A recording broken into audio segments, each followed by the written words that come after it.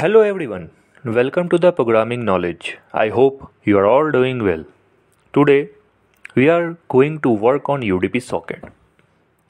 Before going to the coding part, let's understood the client server interaction diagram of UDP socket. As we have seen in the basic of networking that UDP is connectionless protocol, right? That is, the client does not form a connection with the server like in TCP and instead just it sends a datagram. And the server need not accept a connection and it just waits for datagram to arrive. And datagram contains the address of sender which the server used to send the data to the correct client. We also know that UDP does not check for error in the exchanged datagram. Right.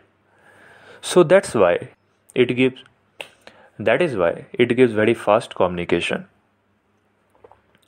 Now as you see in the interaction diagram it is very similar to TCP but there are various major changes.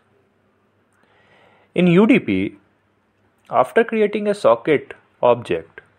In UDP, after creating a socket object, the server process bind that socket to a particular IP address and port number. After successful binding, the server process will start waiting until datagram packet arrive from client. In TCP, we have seen the concept of listen and accept which makes the TCP connection oriented protocol. But in UDP, there is no such thing. That's why it is a connection less protocol. Now, after binding, the client server enters into the request response infinite loop. When the client process finishes, it exits from the it exits by closing down the connection. And at that moment, the server process probably goes back to the waiting state. I am again repeating here that the this interaction diagram is a very simplified representation of the actual reality. In practice, any production server process has multiple threads or sub-processes to handle concurrent connection from thousands of clients over respective virtual channels. Now, let's jump to the coding part. I am using PyCharm IDE for coding. Let's create UDP server first. As we all now know that first we have to import the socket module. Now, let's create socket object. So socket sock is equal to socket dot socket. Here we have to pass an argument uh, two argument. In this the first argument we all know is socket dot af underscore inet which belongs to ipv4 family. And the second argument we have to pass here is socket dot sock underscore dgram. The sock underscore dgram here means that the connectionless UDP protocol. As we have seen in the interaction diagram, we now have to bind the socket with IP address and port number. So there is a method called bind as we have seen already.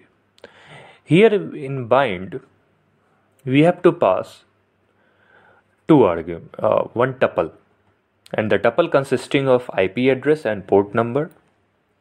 Here again, as an in previous lecture, I am providing localhost and port number. So localhost is nothing but 127.0.0.1 and port number let's suppose 1 2 3 4 5 okay now let's write infinite loop for sending and receiving data. So while true, for sending the data usually uh, to send the data using UDP protocol we use recv from method of socket module so recv from returns two things that is data as well as address. That is very important point here. So let's write first. So data comma address is equal to sock dot recv from now in tcp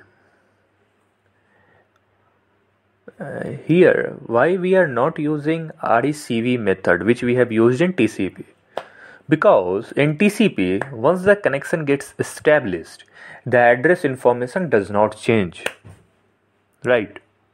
But in other, another, other hand, in UDP, UDP is a connectionless protocol. So here we have to also receive the address so that we want to send the data back. So that's why in recv from there are two things data as well as address. But in recv method we only have data part because the con- connection is established. Here the connection is not established. If we want to send back the data to the correct client we want address as well. Right? And in recv from we have to pass an integer. And this integer represent the number of byte you want to accept so here we are trying to provide enough byte to cover the entire message because we have seen in the uh, background of networking that um, the packet of uh, UDP message should be equal to uh, the message the message size of the UDP should be equal to the packet size right? So here we are trying to provide enough uh, bytes. So let's uh, I am providing here let's say 4096 bytes. Now let's say we have to also send the data to the client. So let's define message is hello I am UDP server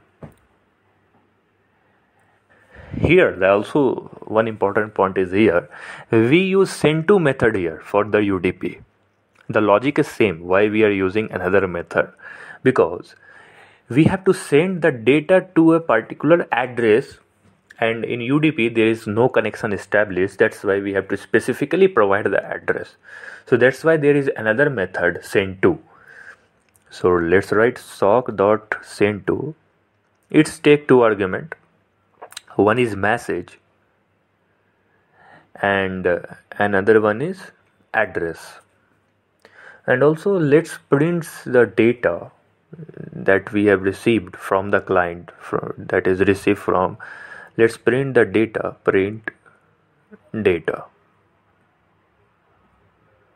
Okay? Now and also the message should be in bytes. Here it is in a string but we have to send the message should be in byte. So let's convert into bytes. So bytes of hello okay? And also we have to encode this message right? So dot encode. In utf-8 string. Okay.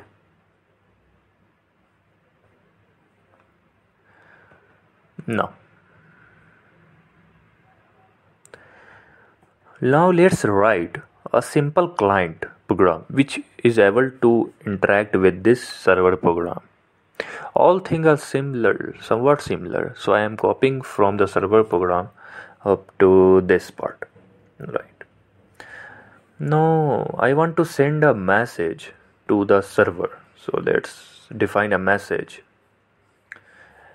Hello UDP server. Again we know to send message here we have to provide we have to use send to method. So client underscore socket dot send to and we have to encode the message as we all know into utf-8 and uh, uh, we have to forward this we have to send the message into the local host uh, the address. So I am providing 127.0.0.1 and the port number is 12345 right.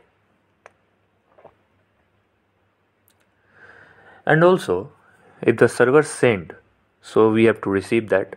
So data comma address is equal to client underscore socket dot receive from. And also here I'm providing 4096